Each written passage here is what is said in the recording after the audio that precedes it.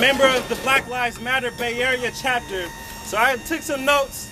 So forgive me if I'm looking down. Shout I'll out to try to make eye Matter. contact with y'all. But today on Dr. King's, uh, we're honoring Dr. King's legacy. And in the Black Lives Matter movement, we know that our movement is a continuance of the black liberation freedom struggle. That's right. Yes. That's right.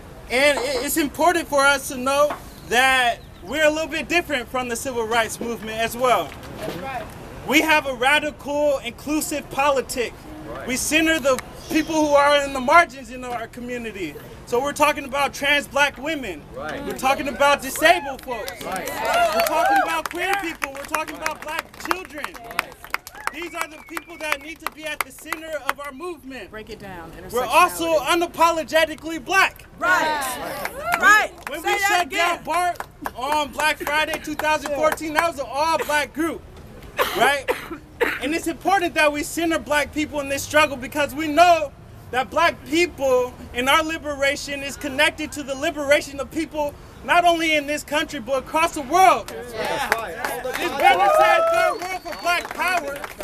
This third world struggle against imperialism, against global capitalism. Right. We're down, shutting right. down That's business right. Yes. because we know that businesses exploit black communities. Yes. Right. We know that this is a historic struggle. We were brought, brought here, kidnapped from our land, stolen from our people to work the land, Right. right? And today we're asking for something, we're demanding something else. It's important. So I want to talk a little bit about our demands. When we shut down BART in 2015, in 2014, we said we're going to end the war on black communities. So we got to actually lay out a plan to how we end that war on black communities. There are generals in this war that are attacking our folks, and it's time that we put them on blast. It's time for Libby Schaaf's resignation today. It is time for Ed Lee's resignation. It's time that we hold these chief of police accountable to our communities. That means we don't want Sean Whent as chief of police here in Oakland. We don't, we oh. don't. That means we demand Greg Suhr is fired from SF as well. Yes. In order for us to do this, we got to keep it up. We got to build across sectors in this movement. When we successfully got the charges dropped against the Black Friday 14, we got labor. We got the fight for 15. We got unions across the state of California to shut down her office, to occupy her office, and say that it's not okay for you to discriminatively charge black people in this movement while not charging other folks as well. Right. That movement was also important. It wasn't only um, labor unions that shut down her office. We had faith leaders that came through and shut it down as well. That's right. This was Christians. These were Jewish folks. These were Buddhists. Yeah. These were people who had indigenous practices.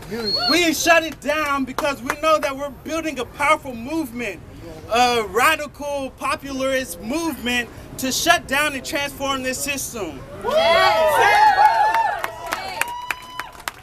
And so we also know that they're not going to give it to us. Hmm. That they're not going to just stop killing black folks. It's important for us to realize that we got to take it. That's right. We got to build our power and we need to take power. That's right. We want a society that values human dignity of all people.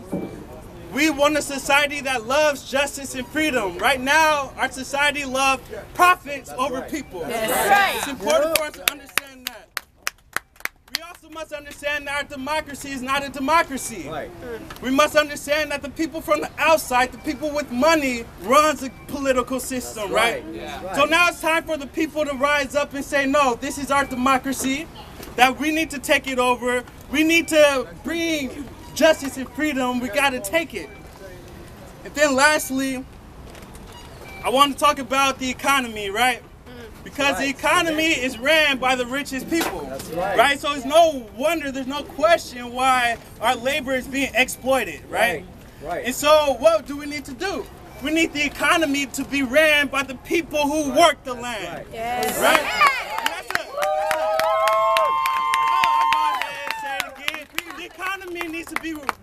by people who work the land. And so, in closing, this is a beautiful struggle, but it doesn't stop here today. In order for us to reclaim the legacy of Dr. King, it's important for us to be in the street. Like Kat was saying earlier, we need to do organizing, we need to do door knocking, we need to be building up the consciousness of our neighbors, of our families, in order for us to transform this system. We need your help. We need you and your communities to start organizing so that we can change, transform this political system. Are you with me? Yeah!